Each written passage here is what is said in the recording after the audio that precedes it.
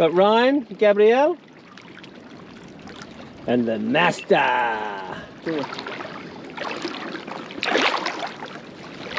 There's Andy, our resident blue man. And then something profound just suddenly dawned upon me. This fish was only just slightly less blue than Andy.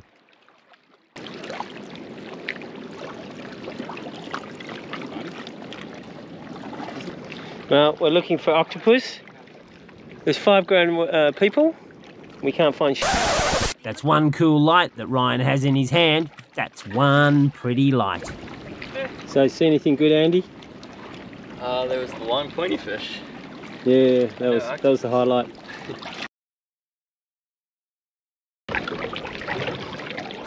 Are you uh, out to the high tide, are you, James? yeah, no problem. Tough stuff.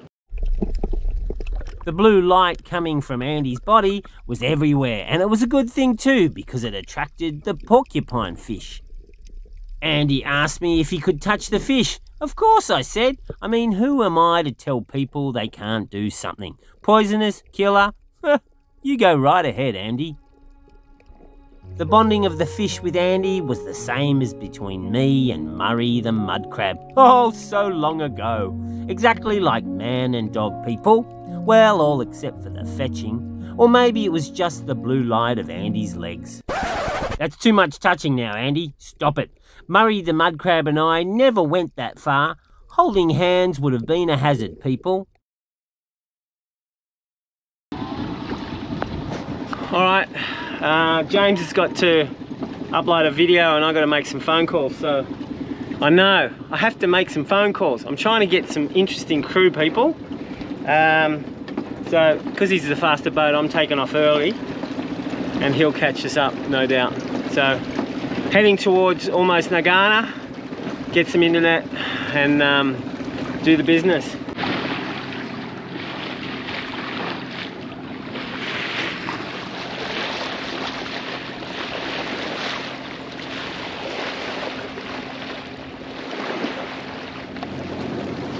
There's James.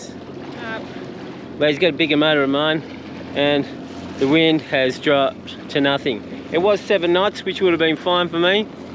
Would have brought the apparent up to nine and then I would have been doing five. But now it's pretty well zero. Look at that. It's going glassy. Anyway, we don't have too far to go. Only a couple of more miles. But I think James is going to win. But he can't theoretically win because he doesn't know the spot to go to. So he has to wait for me to go. Looks like I might be winning, people. Well, when you're champion, you're always a champ. Yeah, right.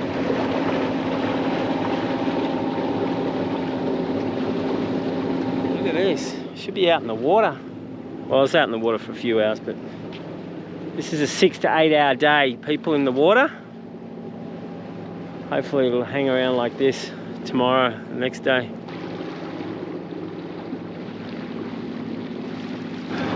Update on the race.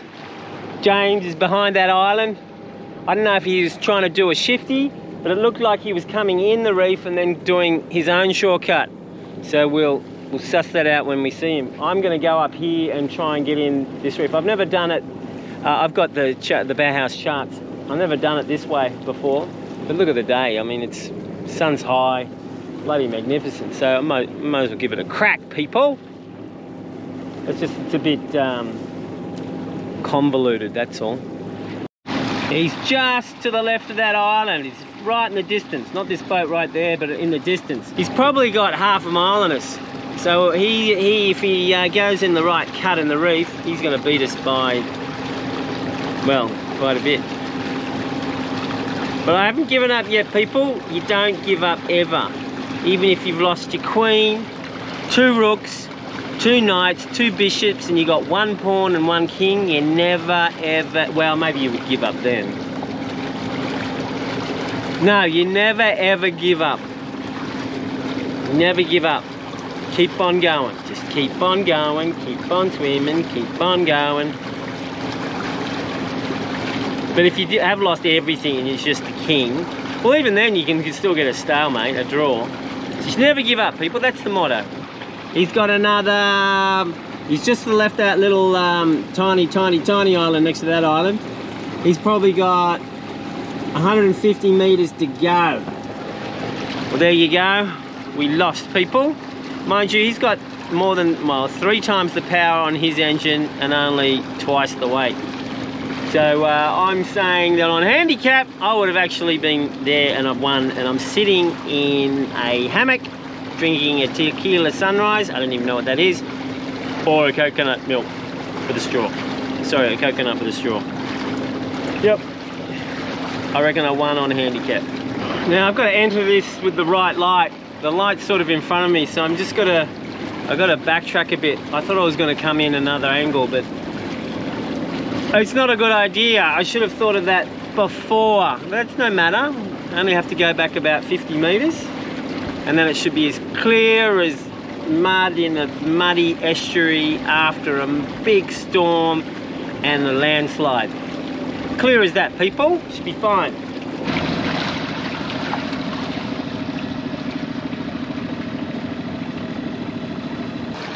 That's um, there's the reef edge here. We're going through. Looks all right. Yeah. And Zingaro's up in front in a hammock, drinking coconut with a straw, probably. The bugger. Oh, he deserves it. He's a good bloke. But don't tell him I said that. He might bludge a couple of pineapples off me. I got extra pineapples. I'm a bit partial to pineapples, people. Yep, there's the reef edge. I've speared all of this, so I already know it. Yeah, I know there's a reef there. There's also a reef up there that's unmarked. Um, so we should be good. We just have to take it slowly. And um, with the Polaroids, it's all good.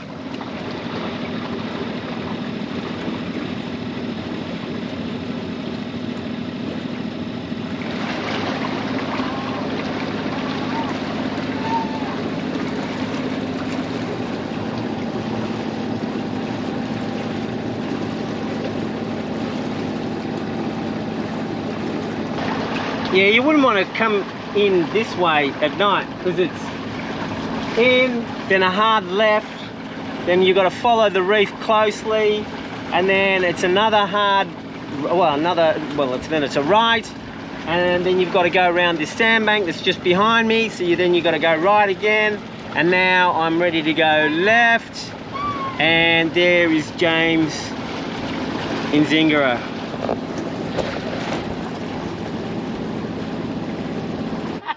Ya, Venga las tres. Necesito mi cámara. Oh. Are you gonna get anything? Yeah. I think I'll take all of it. That's pretty good. Ven cada una. Yeah, it is. It's excellent price. Pedro, yeah. Pedro, Pedro, yeah. I helped these two guys out about two months ago, but it looks like I have more work to do. Ah, Nos falta el hilo. ah, Cordura. Se dañó. Yeah, yeah. No, okay. Um, Tiene hilo. uh, yeah, yeah, yeah. Uh, no, no, no. Sí, sí, él y él.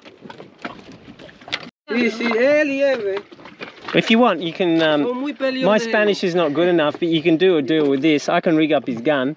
Usually, I just do it for free. One, Es you su can- nombre. Okay. Anthony. I understand it's, it's $20. Yo, yo entiendo es 20. Necesito un poco de tiempo por mi video. Okay? O, o ah, no? sorry, sorry. Okay. Okay, so these guys, ¿qué? Pero nosotros pescamos 15 metros. 17, pero 20. Sí, pero yo creo que ya, ya, ya para ustedes son otros precios. We'll give him a set of these um, inserts. These are really good because you don't have to keep on re-bridling your um, rubbers. You just put in new rope. De todo, aquí guacamayo, de todo, ¿no? Es bonito. We'll give him some spare bridle line too La temporada de mango, no sé qué because aparecen antes de lluvia. it doesn't last forever. Oh, es en la Oh baby. Sí, sí hay, sí hay. Eh, eh, eh, Just give him some spare lines. Okay. Um, spares? This is a fucking awesome little gift. Look, he gave him a, a whole bag of spares right there. and redid his whole gun. Yeah, but these inserts, these are That's kick ass. Awesome. These are With, kick with stainless steel inserts. You Yeah. guys, you guys are hooked up. dile que sí paga, no. Perfecto. Ah, the list. Ese es perfecto. Good. Mira, Excellent. nada Sí.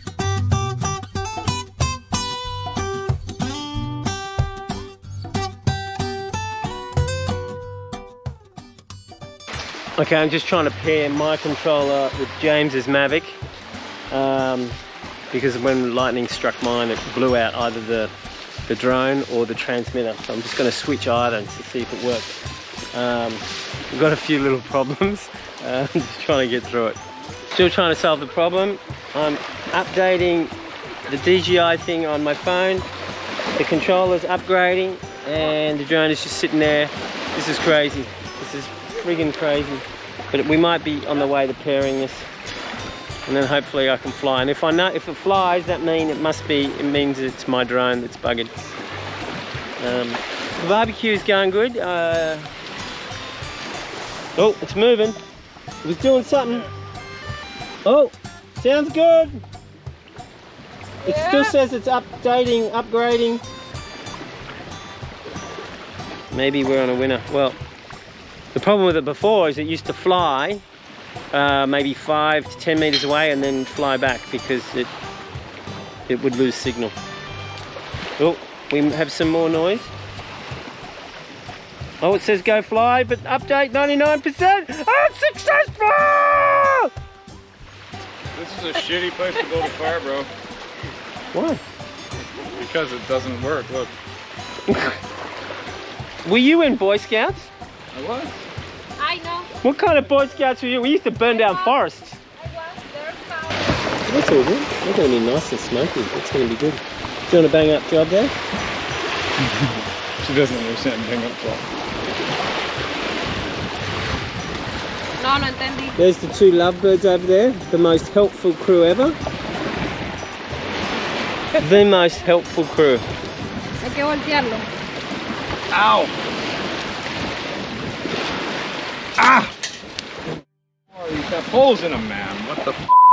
Yeah, it's, this is my quality God gear. Show, damn show, it. show us. Yeah. Yeah, they have holes and now my finger has a hole. I'm gonna have a scar there. Just remember you. You're welcome, James. You're welcome. Damn, that hurt.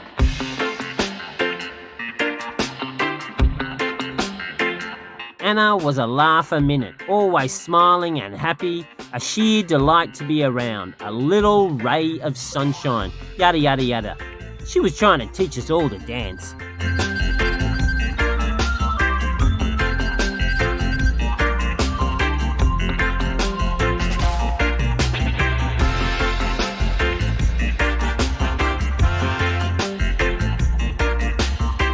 I'm trying to look at her feet, but I'm having difficulty, people.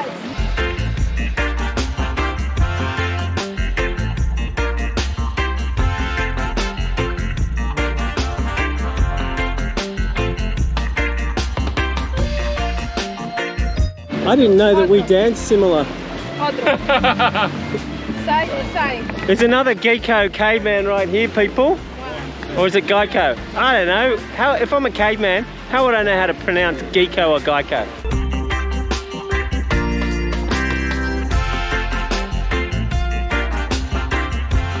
I once split up a fight between a box jellyfish and a brown snake, and I got stung by both people.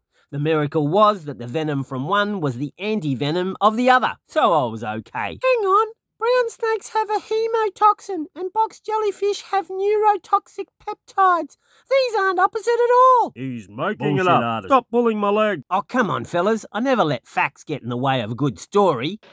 All the crabs, pescata, and then what was that drink? That was so good, that drink.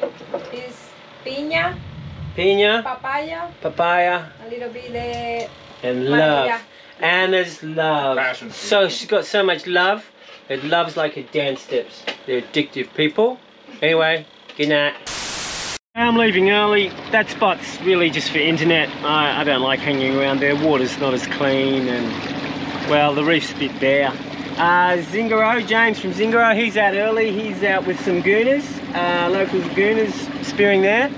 Um, there's a lot of group around this island and it's just so easy. I, I just like a bit more of a challenge. So I leave these groupers be. So he'll probably have, um, he'll come back with a, a lot of food. I'm going to get my usual. I'm going to go for a snapper. Um, yeah, so we're going to go to a nice spot now. Uh, all his crew's waiting for him on board and the local gooner's got us all the fruit and veggies, so that's great. There we go, three islands of paradise. Absolute paradise amongst all the other paradises, like concentrated, it's the black hole of concentrated goodness of paradise in a densely packed thing that gravity becomes so strong it overpowers and sucks in all the other paradise. That's where we're going, people. That's where, you know, like the love that Marguerite and I share, that black hole of goodness and love that nothing can beat, people. That's where we're going. Oh, actually, no, it did get beaten, didn't it? Well, we're going there nonetheless. Don't you worry now, there is more from Sailing Zingaro in the next episode, all on sailing into freedom!